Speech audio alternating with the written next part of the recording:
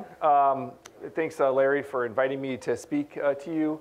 Um, I'll be talking today um, on sort of a vision of 6G. There is no 6G yet, but um, I'll talk a little bit about what it might be and uh, give just, you know, hopefully, you know, generate some interesting um, discussion and, and, and, and, thinking about where cellular communications are going in the next uh, decade or so. Um, I last spoke here in 2018, and then I realized before that 2013, so I guess I'm kind of on a uh, half decade cadence here for speaking about this. And um, so, you, you, know, perhaps you can get the slides from Larry to see if I got anything right about 5G. I, I reviewed, I, I, was about 50% on, you know, sorry, I'd say, in 2013. Um, okay, so I'll give a, just a brief introduction to um, our research center at UT that's focused on 6G is the first um, major uh, academic research center in North America on 6G. And um, just tell, tell you a little about me and us. And then um, I've framed the talk around six questions on 6G, um, starting with sort of what's going on with 5G, since obviously that is a big uh, part of what will uh, 6G need to do differently. Um, so we'll, we'll, we'll, we'll, address some of these questions just at a very high level, just kind of one slide each. And then uh, I think Ruben and I will have a Q&A, which you'll be welcome to join in on as well, um, if we can just discuss uh, what the future of cellular looks like. Um, so uh, we have, uh, like I mentioned, a, a, a, large research center at UT Austin, just a mile north of here, um, focused on 6G communications and many different aspects of it. Um, it. We founded it last, well, I guess now I have to say two years ago, um, in uh, summer of 2021. Um, and uh, it, has been very successful in um, galvanizing the industry. So we have all these industry sponsors. Also, National Instruments and Amazon are in the process of joining the, this week, actually. And so, you know, you can see the, the, the companies that, that, um, that invest in our center and attend our events and, and talk with us and sponsor research really run the gamut from like sort of companies like Qualcomm and Ericsson that you would expect um, to, you know, companies like NVIDIA that are trying to get into the uh, business and apply their machine learning technology and hardware to 6G base stations. Test and measurement companies trying to get ahead of the curve, you know, AT&T, um, and then you know various other companies, including car companies that are even trying to track what's going on in cellular so they can plan their next generation of connected vehicles and autonomous cars. So um, we do about 10 million a year in research expenditures, which is a pretty big number for a for an academic research center. Uh, we have uh, a little over 20 faculty, over 100 PhD students, and we've won a great, great um, number of awards over the years. I'll bring a little bit more about us. Just uh, we had impacts on LTE and 5G. Um, over half of 5G data traffic is controlled by algorithms for video compression. Um, and uh, we had many other uh, things. I won't go through all of them, but um, did some of the earliest work on small cell modeling um, a little over 10 years ago that um, really set uh, the entire theoretical framework for how that works. Had the wrote the most cited paper on 5G, um, uh, you know, in terms of an academic publication, and did and actually the first ever millimeter wave outdoor measurements that were you know used to show that um, millimeter wave could work for outdoor applications were done at UT on our buildings, which are now demolished to make way for new buildings. And Ted Rappaport and his students uh, did those uh, in concert with our affiliates in like 2010 to 12. Um, so anyway, it's just a little background um, on the center there. Um, so first of all, what's the status of 5G? Um, I know that it's a diverse audience here, and some of you may work for operators and know quite a bit about this, but just at a, at a high level, um, you know, uh, 5G was first standardized towards the end of 2017.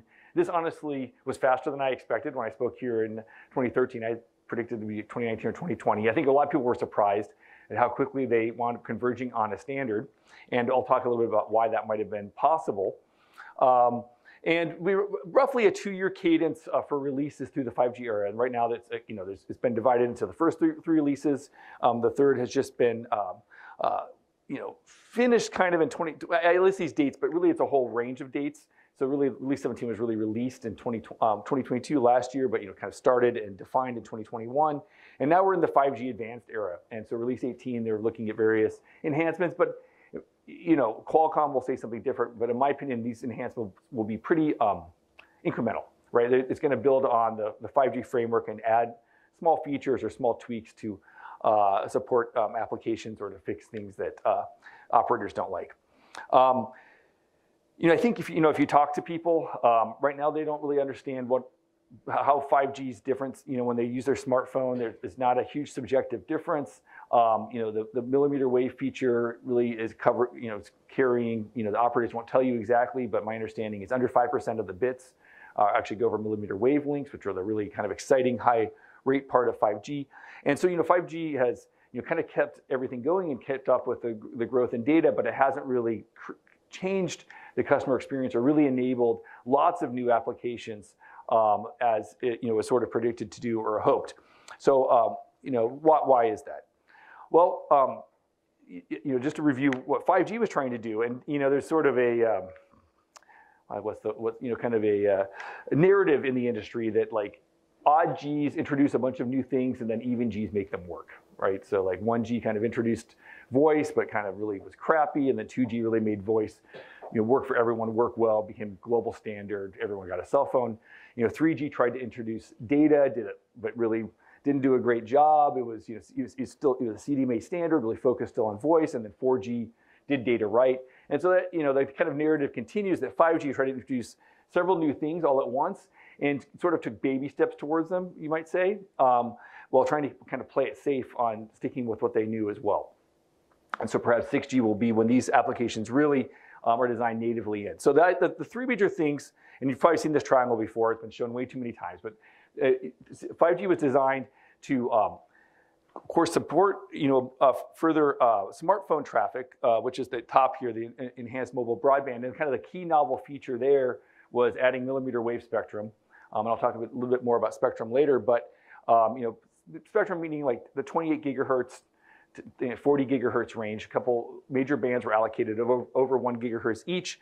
Um, and so, you know, this allowed um, at least to plausibly have data rates in the gigabit per second uh, uh, type range uh, to, a, to a single phone.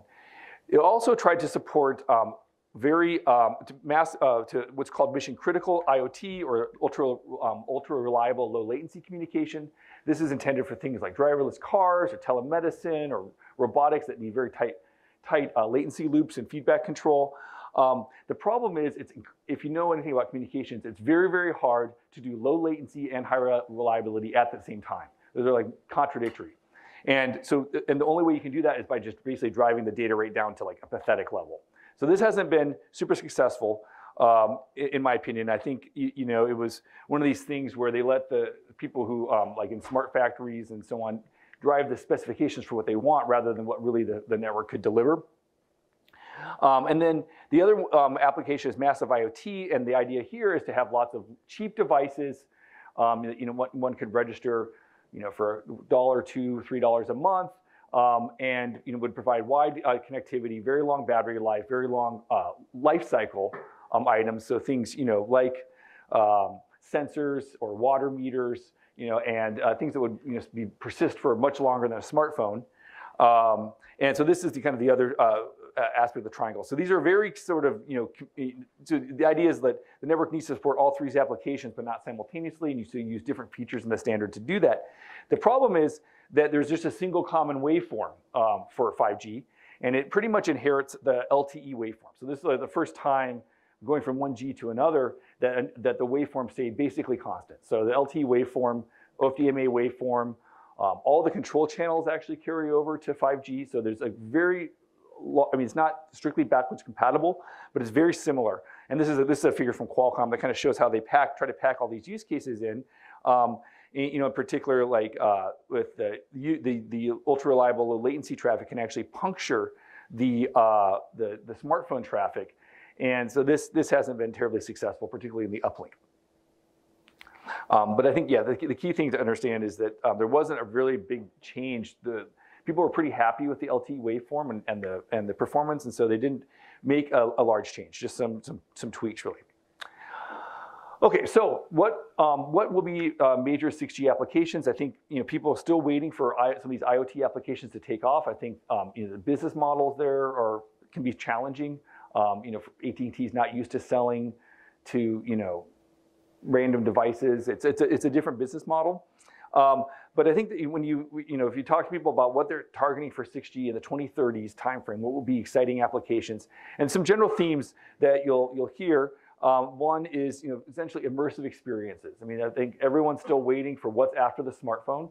Can we have a device which delivers content to us in a more intuitive way that doesn't involve us staring at a screen you know, for hours a day and bumping into people as we walk, for example, or you know, having to leave conversations to stare at a text message? Is there some way this can be delivered in a more natural, intuitive way. Um, of course, you know, lots of money is being invested in this by you know huge huge tech companies with you know some mixed results, shall we say. Um, but I think there's there is a huge amount of investment and um, hope that this will be a major application in the 2030s, and it'll have very some different quite, quite different requirements than smartphone uh, uh, traffic.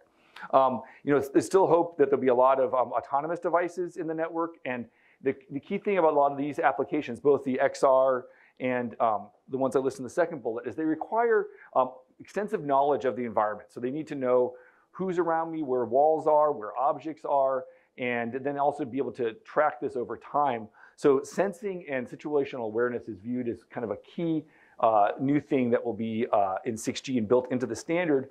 Um, you know, obviously our devices themselves can sense and learn, but, but the network itself will try to do some of the sensing because it can actually do that without having to convince Apple to feed back sensitive information. And the other big um, theme that kind of goes into this is uh, building very uh, comprehensive digital models of the real world and to eventually merge physical and virtual worlds in many uh, different dimensions. So this is kind of a little bit uh, science fiction-y, but um, this, is a, this is a big theme um, as, we, as we move towards 6G. And then, you know, you can see these numbers. These are just, of course, projections, but the idea is that the, the market will go up, you know, over 100x for XR type applications um, by 2030. Okay, so what are some key new technical directions to support this? Um, you know, at 6G at UT, we've identified four. I'll talk about a couple of them uh, on future slides, but two that kind of go together that we're working on a lot there is the sensing piece, which I mentioned. So this is using the base stations. The base stations, if you think about it, are ideal sensors. They're mounted high. Um, they have you, you, they, they, send out radio waves, and as we move to higher frequencies, these radio waves are very similar to what's used for radar and tracking. So you can actually use reuse the, the, the bandwidth not only for communication, but for sensing um, applications to use to do radar or localization of objects. Um, and then, of course, you can put other uh, LiDAR or uh, perhaps cameras, although there's a, you know, um, uh, confidentiality, you know, privacy issues there rather. Um, but, uh, but you know, this we think is a, a key aspect of the 6G standard. And, um, and from a valuation standpoint, maybe something interesting that would be new. So the network could actually not only offer communications um, as a service, but also sensing as a service. It could provide information to um, applications uh, like XR applications and driverless cars that they need to, to function at their um, uh, full level. And then a key part of this is you know machine learning, which has you know really taken the, um, several industries by storm since the 5G era. Um, there's a lot of people looking at how uh, machine learning will affect 6G. And there's very, very ambitious visions like NVIDIA that the entire base station will become just a deep learning engine and all the, the entire modem will essentially be subsumed by GPUs and uh, neural network type processors. And then there's more, shall we say, sober views um, that uh, you know machine learning will play a key role and, and, and allow different um, blocks in the communication system to be merged and to essentially adapt um, to the environment. So I, am personally very excited about this. Um, I think um, uh, there's many, many places where this can really be uh, transformative in making the communication system work well. So for example, um, if, you know, coupled with sensing, the machine learning can take in huge amounts of data, learn the propagation environment very well. For, so for something like millimeter wave, instead of just blindly trying beams and to align beams, which is the main bottleneck um, to making millimeter wave spectrum effective, it can learn, um, you know, from the environment what beam would be likely uh, work for a given UE based on its location and other fingerprinting, and it can just immediately do the beam alignment. We, and we've shown with very detailed simulations in my group uh, recently that you can get about a 500x speed up um, in uh, beam alignment um, using a deep learning uh, approach with a lot of training. Um, okay, spectrum. Obviously, every new G um, you know, tries to bring in new spectrum, um, and 5G the, the main new spectrum was in the C-band. This has been quite successful. Um, so, you know, the three and a half gigahertz to four and a half gigahertz type band is being rolled out. Um, the millimeter wave spectrum, um, as I mentioned, has, um, is very exciting and there's tons of bandwidth there, but has not uh, made a huge uh, uh, impact yet. Um, and you know the reasons are you need dense base stations. It really is an outdoor to outdoor technology. It doesn't go through walls or even tinted glass. Um, And uh, the devices have been very slow. It's actually, you know, it's expensive to put this in the devices. You need little planar arrays. You need perhaps three of them because your hand can block it because uh, these frequencies don't go through your hand. Um, uh, you get like a 100x loss in signal power just from your hand. Um, so uh, there's still a lot of work to do there. And so uh, when we go to 6G, um, you know, I like this picture from Nokia that, that, I, that I found that kind of shows it will keep, will carry all these bands over to 6G, but then add a lower band that'll have not very much bandwidth there, but for using for these low rate, ultra wide area, low power IoT applications. Um, a really exciting development, in my opinion, is that there's a lot of effort being made to open up various bands in the 7 to 20 gigahertz range. The idea is um, that this spectrum at the lower end, like 7 or 8 gigahertz, will be not that different from like current Wi-Fi spectrum at 5 gigahertz. Uh, but you can pack lots of, you know, lots of antenna elements in there and do highly directional transmissions, um, but with a lot better propagation than we're getting at millimeter wave. And the idea is you can do things that would avoid some, some incumbents in the spectrum that are, you know, for example, satellites. That it might be possible to have satellites using some of the spectrum while on the ground we use it in a, in a way that doesn't interfere with the satellites. Um, so, it, so, we have some projects going on on this. Uh, it's called upper midband spectrum. So we, this is expected to be part of the global 6G uh, spectrum uh, play and something kind of new that could provide a lot of capacity. And then there um, also uh, a lot of people working on even higher frequencies than millimeter wave. I'm personally skeptical this will have much effect um, on a typical 6G experience because for the same reasons millimeter wave hasn't, and this is even harder to, to use. But it is very interesting from a sensing point of view. Um, you can get extremely fine grained resolution at these uh, so-called sub-terahertz uh, frequencies. So this this will probably be in there. Uh, how big of an impact it has, I'm, I'm, I'm not sure. I'm, not, I'm a little skeptical, but I do think the, this spectrum will be a key piece of 6G. Okay, um, another question uh, that you know I have and um, you know I get a lot is like 5G did very little to really improve coverage. So I mean, if you go, I think during COVID, many of us realized that when we went to remote places, it was hard to get coverage. I mean, even just in our own country, uh, you know, I, I, spent two months in Colorado in the summer to escape the heat here, and like no place had like decent coverage. I mean, other like like unless you were like in downtown Aspen, it just I couldn't do you know almost anything in in, in the in, in, the mountains of Colorado. Um, and so it, obviously it's even worse in other countries that aren't as developed as ours. And so how do we uh, get to a global coverage to really you know enable um, everyone to have a broadband connection that wants one anywhere in the world? And you know the it, the very exciting development, I think, which has kind of taken a lot of us by surprise, is the ability to densely deploy LEO uh, satellites. Um, you know, Starlink has really uh, show, shown the way there and you know, radically lowered the cost of launching a satellite by 20x or so. And so we're looking at having tens of thousands of satellites up in low Earth orbit um, compared to like hundreds five years ago um, in the 6G era. So how does this, how will this work with 6G? Um, it's, a, you know, it's obviously a different system.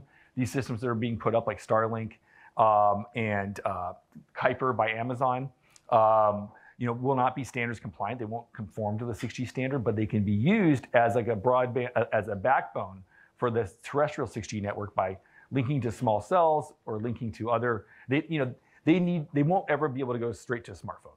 I mean, you know, there's been a lot of excitement about this, uh, you know, iPhone being able to send, you know, uh, uh, an emergency message to a Globalstar satellite, which is a LEO satellite. Actually, I, I engineered, that was my first job out of college. I worked on Globalstar in the 90s, so it's kind of a full circle um, but if you just look at the physics of it, you'll never be able to do a Zoom call straight from your laptop, you know, to a, to a satellite. It just, it just, it just won't work.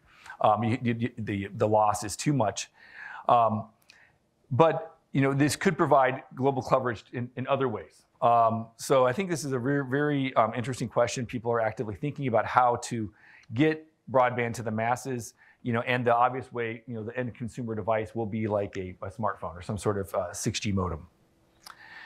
Um, so with that, um, I'll conclude my, uh, my, my portion of just uh, talking to you, and we can have a discussion next. Um, if you want more information on 6G, you know, come to our website, come to our event on March 29th.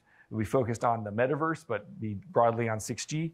Um, also, I think something to be aware of is for the first time, um, North America is binding, um, binding together in this uh, thing called the Next G Alliance. I don't know if any of you have heard of it, uh, but it's a real thing actually. Um, and the idea was that uh, there's a view that you, the US got a little bit left behind in 5G um, by uh, China and Europe. And uh, we want to be leading uh, what 6G is and defining it in a way that suits us. And so the entire ecosystem from operators to you know, everybody kind of involved in this. I'm, I, UT, 6G UT is part of it. So I, I can tell you it's very active. And, um, and I think a lot of the groundwork for 6G is being laid there. They've released some pretty helpful white papers that kind of give the consensus view uh, on what 6G is. I mean, they kind of put everything in there to not hurt anyone's feelings, so it won't be like take any controversial stands. But um, but this is um, uh, it's a it's a nice resource for kind of seeing what is uh, what the industry is thinking as they move towards 6G.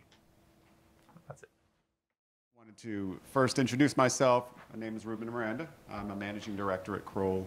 Uh, we are one of the sponsors uh, for this conference, uh, two-day conference. Uh, Kroll is the former company known as Duff and Phelps. Uh, we do valuations for uh, financial reporting, purchase price allocations, uh, impairments, uh, and also portfolio valuation in addition to our work as property tax. Um, Kroll is also the, the company that's uh, is kind of a larger parent that now gets involved in more technology. Uh, we do a lot more cybersecurity. we also do receivership, so uh, things like the legacy prime clerk is now under our umbrella, so uh, quite a bit of number of uh, business services that we do.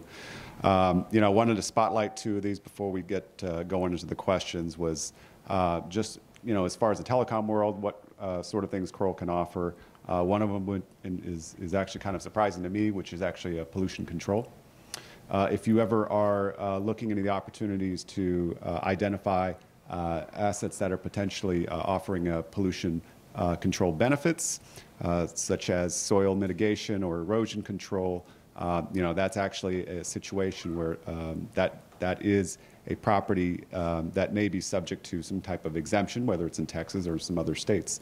And so we do quite a bit of work on that to help identify that. And then the other one is, uh, you know, if you've ever uh, been paying attention to the Inflation Reduction Act, there's quite a bit of, of, of clean energy credits uh, that are now available. And one of the um, uh, services that we are now offering is we are able to broker uh, uh clean energy uh, agreements uh, for facilities. So if you ever have this interest where if you're, you know, wireless edge center or if your cell site or your, your ILEC CO is in need of some type of clean energy sourcing, then we can help with that. so got that spiel out of the way. Uh, we have some questions. I don't know if anybody has one, but we can ask some right now. Uh, I'll kick one off. Uh, Jeff, um, millimeter wave. You know, you had a little bit of a discussion about that. Um, and I know millimeter wave had a lot of promise, a lot of uh, hype, uh, and, and, you know, I think in the case of one carrier, uh, is now backtracking on that. The, mm. the real future of it is kind of left to be desired. But what I'm hearing right now, it sounds like we're uh, effectively punting on the usefulness of 5G and, and its application of millimeter wave. Is that right? Well, I, yeah, I guess um, I'm not privy to what all the operators, uh, you know, sort of product roadmaps are. Um, I mean, I do, th- you know, think that it is one where the hype maybe got out in front of what is really how it works in, in reality. Um, I think, as I mentioned, it's a little bit of a chicken the egg problem. So if you know the the uh, the handset manufacturers don't you know invest in putting the technology in the iPhones and other smartphones, then it's you know why would AT&T and Verizon spend billions rolling out the infrastructure at the densities needed? So it, there's a little bit of chicken and egg problem. I, I, I don't think it's been punted on, but I do think um, there in the rush to standardize uh, 5G, uh, you know, and as I mentioned, it carried over so many things from just LTE in order to get the standard out. Um, I think um, millimeter wave likely will see its um, really bloom in the 6G era. I think there, there needs to be some uh, tweaks made to the standard, some fundamental tweaks, and I think um, I think machine learning and some of these other new technologies will play a big role in enabling it. So I think, I mean, you know, we take for granted now that we have MIMO, right? And this is in every standard Wi-Fi from, to cellular, but it took like 10, 15 years to get, to get that technology really working in the field. And so millimeter wave, I mean, had never even really been prototyped in about 2014, 2015. So I think, uh, you know, we still, it's, it's, it's not, it's way too early to give up on it. I just think it needs a bit more time. Yeah, it, it, it just dawns on me. I don't know what that means for the future of the 5G equipment that's currently in place. I see. Um, like the, the millimeter wave supporting 5G. I mean, I think a lot of the 5G rollouts haven't even included millimeter wave. Like only in, I mean, you can, you can get a millimeter wave connection here in downtown Austin, for example.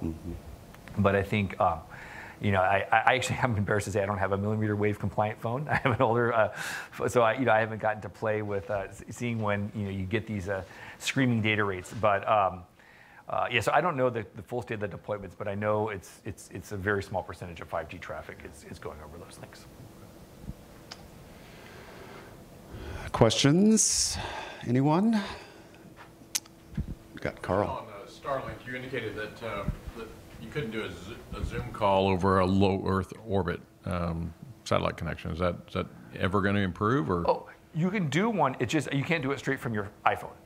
Okay. So you would need to go th- the the, the, the receivers for these uh, Starlink systems. You know, they, they need to. I mean, you could maybe do it to a laptop if you built in the array to the laptop, but you need an antenna array that's directional and that points to the, towards the satellite with pretty high directionality, which. Um, So it's not really a mobile solution, it's more of a fixed solution, right? fixed or mobile to car or to you know a larger form factor. Is it the latency is, is the primary issue or? No, latency is not really the issue. It's just it's just the uh, amount of it's just the distance um, as far as like the, the losing the energy. Yeah, the latency you can do you can do a two-way video call to over Starlink um, with uh, you know with the right modem, but the, the, the modem is big. You know, Gotcha. you, your, your phone connects or your laptop connects to that modem, and then that it goes up. So it's more like a fixed to the home or to trucks, cars, that kind of thing. For for now. Okay, thanks. Yeah.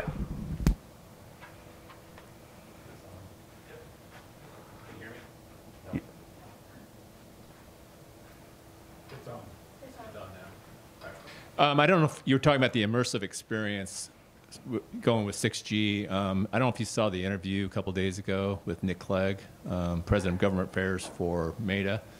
But he was kind of talking about that, and he, what he kind of described is that maybe coming out like with a little gla- like a glass that would sit there, because he was talking about people walking around here that you would actually have an eyepiece, like in your car, and that's sort of the next step in terms of, of phones and, and it would just be kind of a live experience and, and things would pop up and, and that's how you would you know sort of interact with it. That just curious as to your thoughts on it.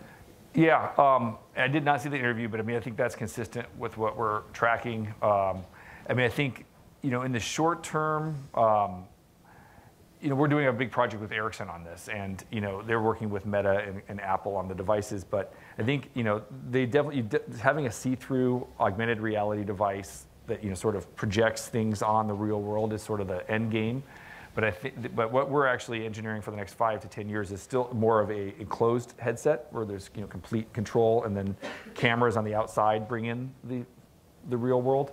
So I think it's um, it's, it's, it's difficult to say what the first really breakthrough application will be, um, but I hope it's something that's where the human's not fully enclosed in a VR type headset, and it's more of a just an add-on to the, uh, you know, that would be you know kind of, you know, not overwhelming. Just like you know, again, yeah, it projects somewhere so you kind of just see, oh, I have a text message coming in from my wife, or, or you know, and and you know, using gesture recognition and other uh, ways of interacting with it. Yeah.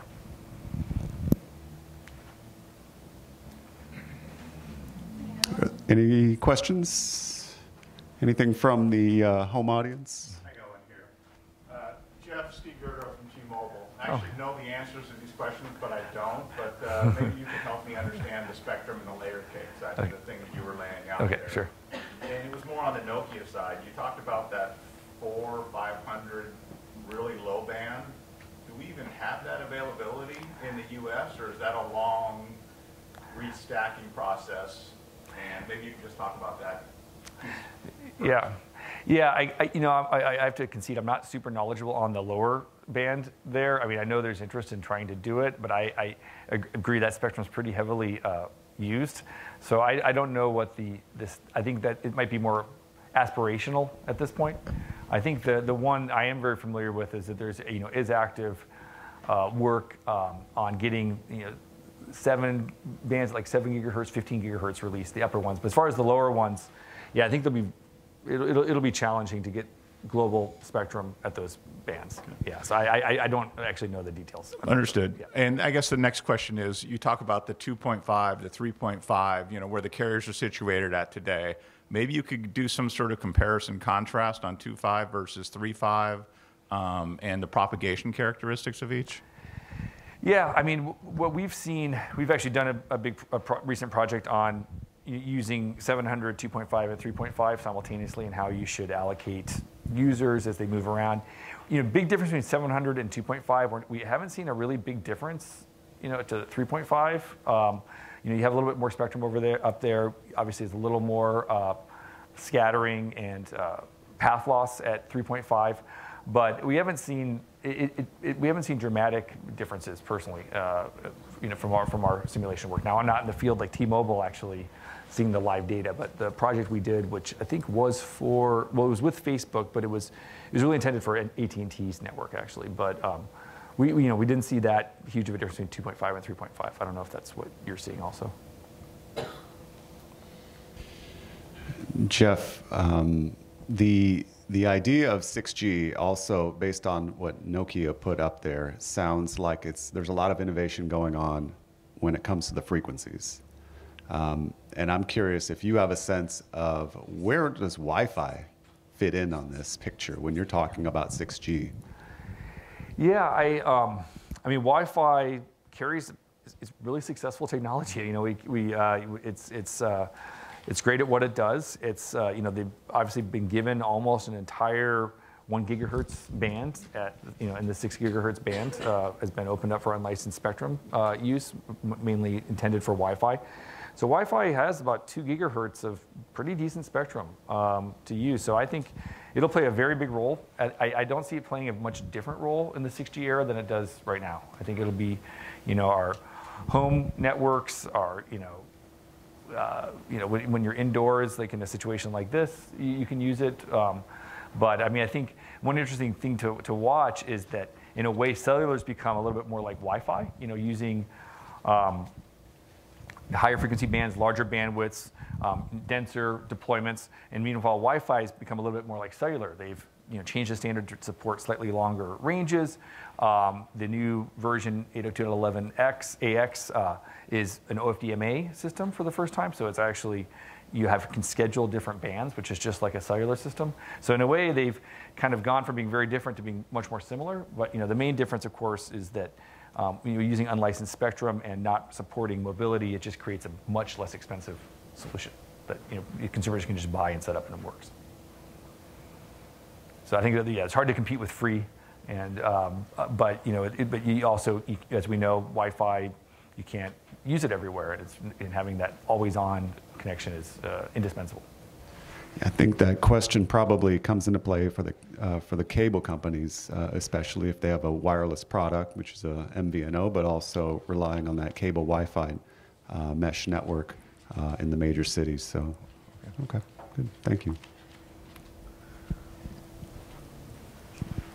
Just a little more faster. You've added more layers to the cake uh, in the in the right hand side. So does that mean that there is going to be um, another multi-billion dollar um, spectrum um, auctions to to accrue all that? I would expect. I would expect so. Um, yeah, I, I would So it's think not so. simple. uh, uh, What I'm getting at is really not simple equipment change. In order, the, the barriers for entry is to um, purchase the spectrum equipment or spectrum uh, ranges, right? Yeah, I mean, I, I, I think as far as the upper spectrum, there may be different models other than an auction model at above 92 gigahertz because, you know, we've, there's been studies that show, first of all, there's just a lot of spectrum up there, and there's studies that show that interference isn't such an issue if you're using a lot of directionality there because it, it just dies off so quickly. Um, but yeah, I think I would expect that, you know, there'll be, you know, auctions in that in that in that sweet spot here in the seven gigahertz band, 15 gigahertz band, and I imagine it'll be it'll be spendy. And those overlaps of frequencies that you see from the 5G to 6G, that's where you can have uh, equipment conversions. Um, Correct. Yeah, that's right. So this would, I guess that, that you would expect this spectrum to uh, carry over, and yeah, they might you know continue to use 5G for quite some time in those in those bands. I mean, it's it's hard to say. I mean, one one interesting aspect um, of 5G is they designed it to be quote unquote future proof or forward compatible. And of course, this is kind of an impossible task, but they've put specific aspects in to make it so you could change, you know, add features to the standard without, you know, breaking backwards compatibility. So 5G, I wouldn't be surprised if 5G gear, which is still just rolling out now, you know, will still be, you know, around well into the 12, 2030s. I think it might have more longevity than some of the previous Gs. And, and one reason is that some of the use cases they're looking at, IoT use cases, cars, these have very long shelf life. I mean, they, these are long cycle times, long replacement times. So the, the idea is you wanted something that would be deployable for two decades. You know, is, is that just the standard that's deployable, or would you have to change out the BBU and, and some of the technologies to continue that evolution? Well, to I mean, to up, upgrade, um, you would you know have to change out the BBUs still. I mean, I think it's still not like a software-defined radio type situation, but um, uh, you know, the idea being you might re- refarm some of the spectrum for 6G, but you might just leave some of it still just supporting 5G for quite some time. I mean, obviously we still have lots of LTE uh, deployments, and so then those will live on for some time. And I think the legs on 5G, the tail on 5G, might be even longer than LTE. That would be my guess.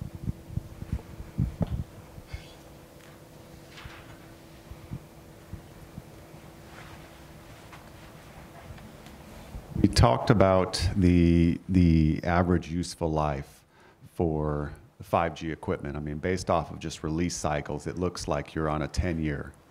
Yeah, that's the that's been the cadence of these standards. And so yeah, even if they aren't ready for a new standard, they'll just call it uh, the next G, you know, for marketing reasons, right? But um, uh, yeah, that's it is about a 10-year cadence for Can I correct that statement? Um, when you say when you when we look at early on the the curves that Larry put together for us in terms of the the uh, principle of the substitution of technology, right? So. Um, it, they tend to have about a 10 year total life, I'll call okay. it, right? And so when we think about 5G, yes, total life, but I wouldn't say average useful life is really when it penetrates the 50% mark. So uh, is 5G really closer to um, historical averages of about seven to eight years of, of average remaining life? Again, where it penetrates that 50% point. Yeah, I, you know, these, these, I'm not really an expert on these life cycle questions, to be honest. Um, but uh, from a technology standpoint, um, like I said, I think 5G is designed in such a way that it, it could, I would be surprised if it have a longer, longer, life, longer lifetime. Okay, thanks. That's a good point of clarification, Carl. Um, yeah, the idea of the, the 5G deployment, I mean, are we even at the 50% yet? Um, it's hard to. It's yeah, I guess you know AT&T or, or, T-Mobile friends probably have a better sense of like what uh, you know what the current network, uh, you know, how much of their spectrum has been moved over to 5G. Um, but yeah, I, I, I, would think we're getting close to 50%, but I'm I'm not actually sure.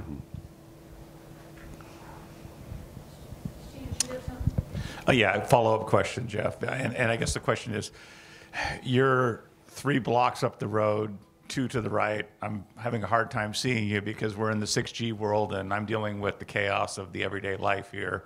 But uh, I, I, get the immersive technology, you know, where you're going, and you've been at this business for a long time. So if I can just pull you back a little bit on the 5G world, sure. and maybe you can chat. What do you see is the most promising use case or the best development in the next 12 to 36 months?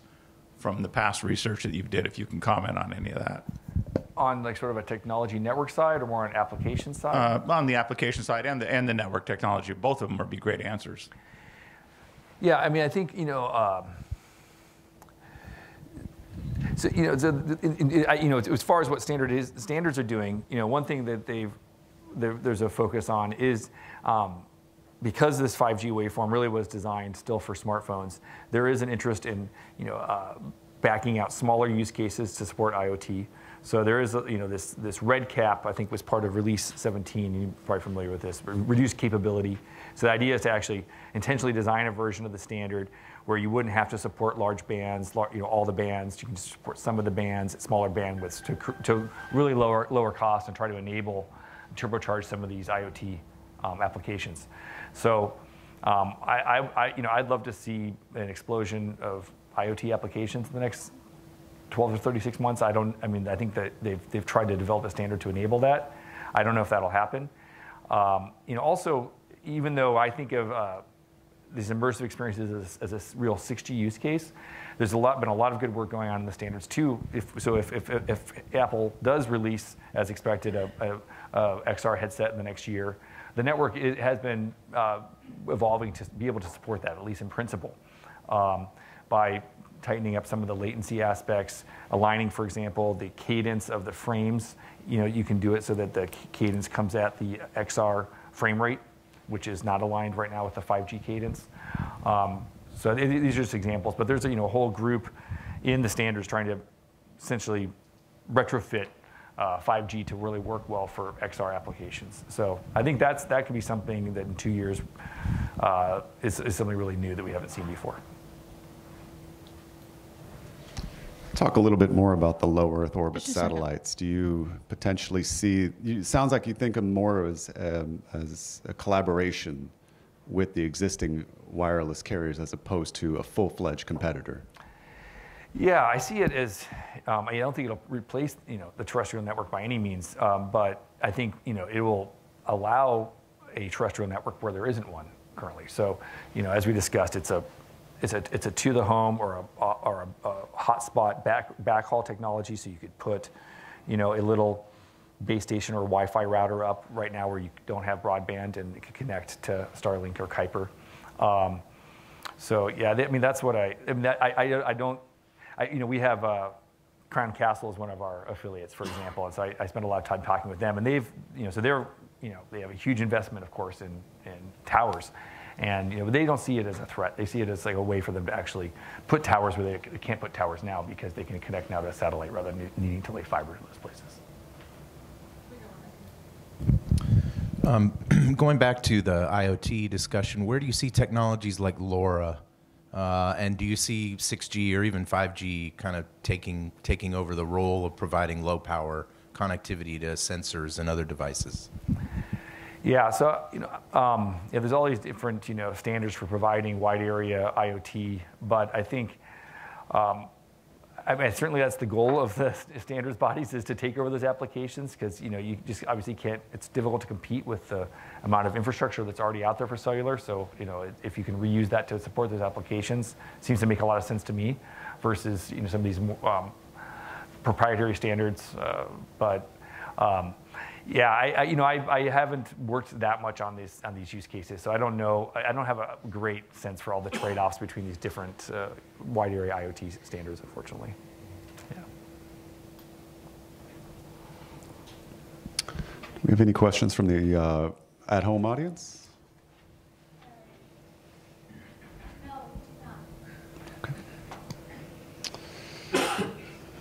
Well, we may have covered all the questions that uh, I think we can think of. Larry's got one, though.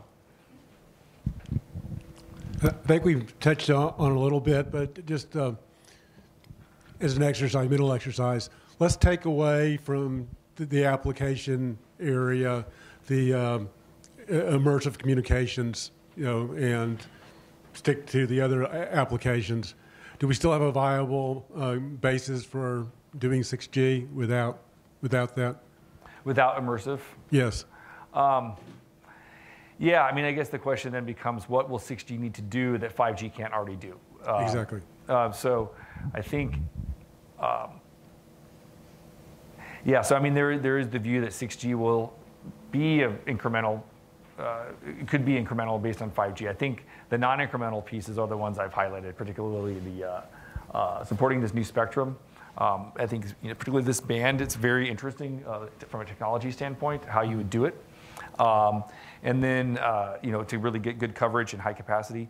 I think the, um, uh, for a lot of these applications, though, even even beyond immersive, like the say the autonomous cars, which you know, six. I don't know if you guys have covered the, the, these um, in your past conferences, but there, you know there was a very it was very bullish five years ago, right? I mean, um, uh, on having you know autonomous vehicles being on the road right now, you know, like all over the place, and that's not really happened. I mean, it's been baby steps, which doesn't really surprise me, but I think um, you know one key thing is is, I think, the sensing piece to really enable that application. If that, it, it, I think the cellular connectivity really will make the difference between them being you know, kind of what Teslas can do now, and then really having you know vehicles really aware of what's happening around the corner and, and being able to really you know have high safety while also um, you know, going pretty fast. Uh, I think you know, from we have a lot of people working on that in our group.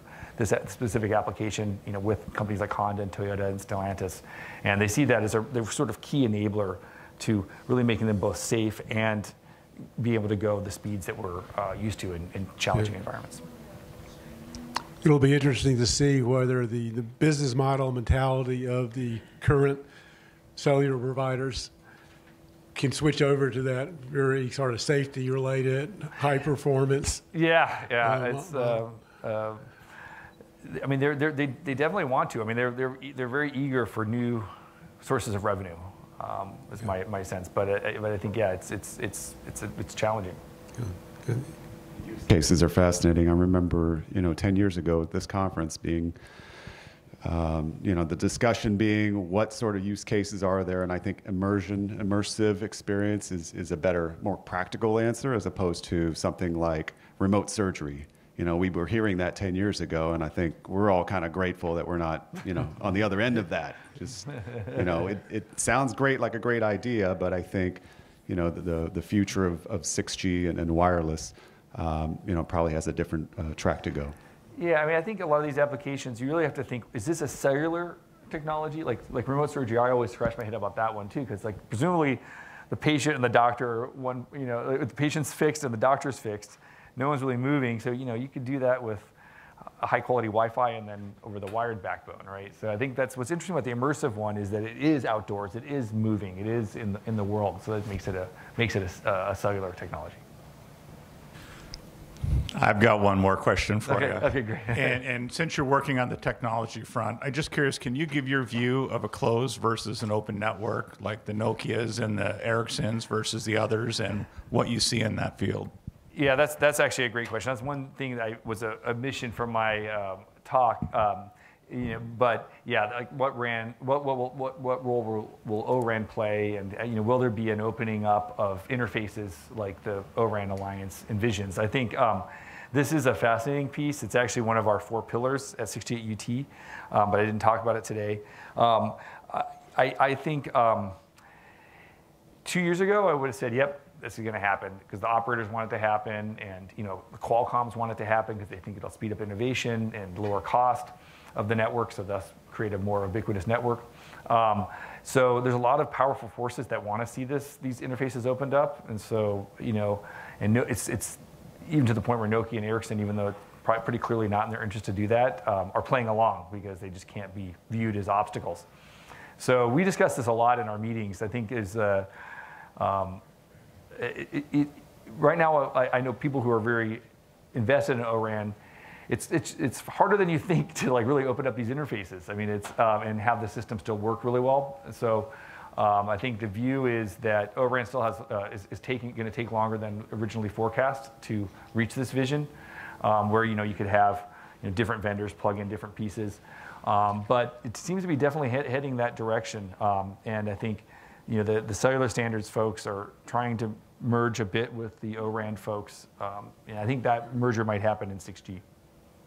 Yeah, so I think it's a very, very, um, that's a, another big piece uh, of 6G. It's more on the core network side.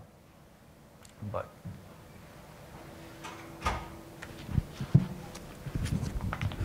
Okay, well, uh, I think that covers all. No, Larry, you got another one? Um, of your PhD students, you have 150 or yeah, or 6G, and all of those are doing PhDs involving 6G related topics. Well, th- so there's that, that number is a high number, and it's um, uh, I would say, you know it depends what you call 6G. So we have a lot of st- students in the group working on like core machine learning or on video processing, but um, you know things things that we, are important pieces of 6G. So they're, the definition of our PhD students are is that they're PhD students advised by the faculty that are in 6G at UT. So I would say ones that you know are actively working on things like connected to 6G, where like you know 6G might be in their papers, is maybe 50, but it's still a very large number. And, and, and there's a lot of cross pollination. So, for example, my students are all working very heavily on 6G type projects, but we're using like you know advanced new tools from uh, machine learning. And so our machine learning faculty and us have joint proposals, and the students talk. And so there's like this cross pollination. True. Yeah. So, but, but yeah, but I'd say uh, people actually actively working on wireless, maybe 50. But it's a lot. It's, a, it's probably probably more than any other school in the U.S. Good. Yeah, thanks.